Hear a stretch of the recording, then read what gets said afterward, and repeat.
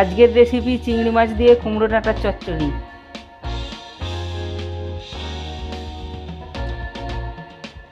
উপকরণ চিংড়ি মাছ, চিংড়ি মাছটা ভেজে রেখেছি।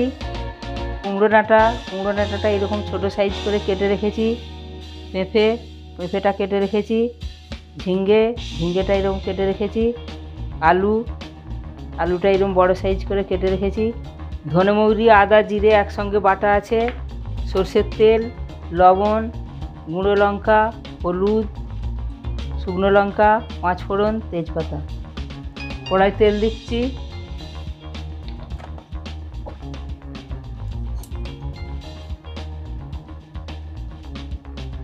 শুকনো লঙ্কাটা কড়াই দিচ্ছি। তেজপাতা দিচ্ছি।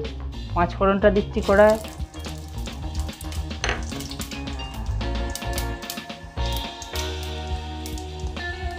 শুকনো লঙ্কা, পাঁচ ফোড়ন, তেজপাতাটা ভালো করে ভেজে নিচ্ছি।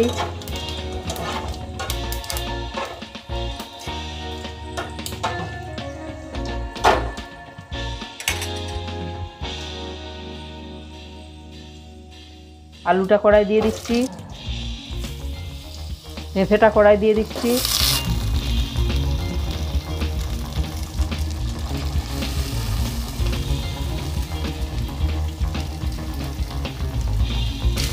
কড়াই পেঁপে আলুটার সঙ্গে গুঁড়ো হলুদ দিচ্ছি, লবণ দিচ্ছি, গুঁড়ো হলুদ, লবণ দিয়ে পেঁপে আলুটা ভালো করে ভেজে নিচ্ছি।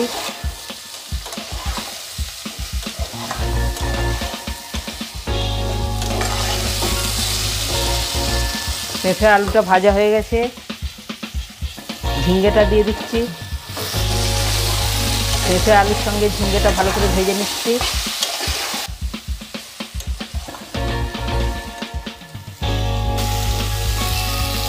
কুমড়ো ডাঁটাটা দিয়ে দিচ্ছি কড়ায় কুমড়ো ডাঁটাটা ভালো করে ভেজে নিচ্ছি ঝিঙ্গে আলু পেঁপের সঙ্গে।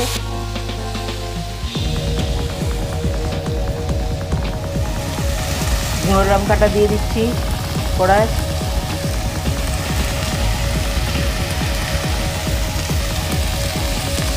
আদা, জিরে ধনে মৌরি বাটাটা দিয়ে দিচ্ছি কড়ায়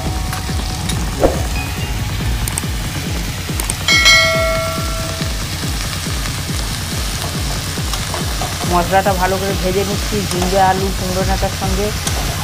মশলাটা ভাজা হয়ে গেছে, জল দিয়ে দিচ্ছি।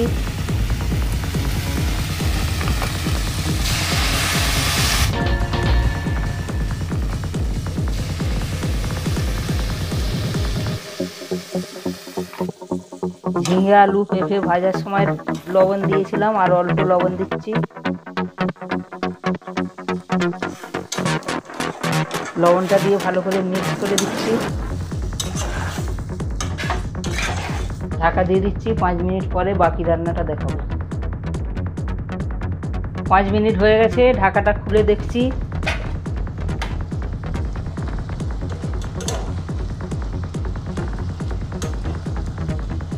চিংড়ি মাছটা ভেজে রেখেছিলাম, দিয়ে দিচ্ছি।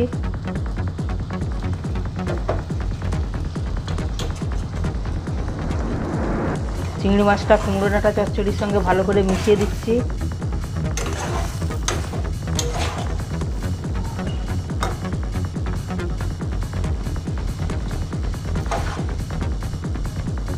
আলুটা সেদ্ধ হয়েছে কিনা দেখে নিচ্ছি।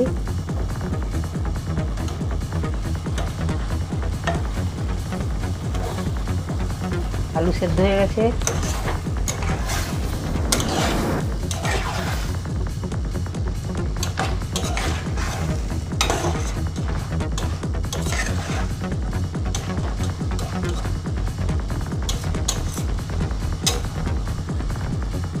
চিংড়ি মাছটা দিয়েছি, এক মিনিট ঢাকা দিয়ে দিচ্ছি, এক মিনিট পরে নামিয়ে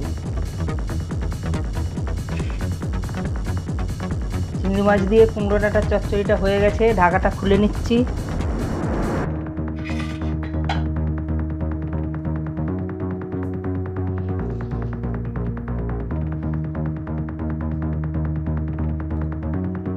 কুমড়ো ডাঁটার চচ্চড়িটা ঢেলে নিচ্ছি।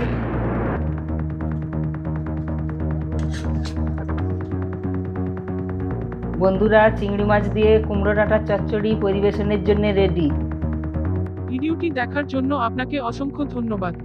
আপনি যদি ভিডিওটি ফেসবুকে দেখে থাকেন, তাহলে একটি লাইক অবশ্যই করবেন। আর যদি এই ভিডিওটি আপনি ইউটিউবে দেখে থাকেন, তাহলে সাবস্ক্রাইব করতে ভুলবেন না। প্রতিদিন দুপুর দুটোয় আমার চ্যানেলে ভিন্ন ভিন্ন স্বাদের রান্না দেখতে ভুলবেন না। ভিডিও সম্পর্কিত কিছু তথ্য ডেসক্রিপশনে দিয়েছি। এছাড়াও আরও কিছু জানার থাকলে কমেন্টে জানাবেন, আমি রিপ্লাই দেব। পরিশেষে সবার সুস্বাস্থ্য ও দীর্ঘায়ু কামনা করে এই ভিডিওটি এখানেই শেষ করছি। ধন্যবাদ আপনাকে সাথে থাকার জন্য, দেখা হবে আগামীকাল ঠিক দুপুর দুটোয়।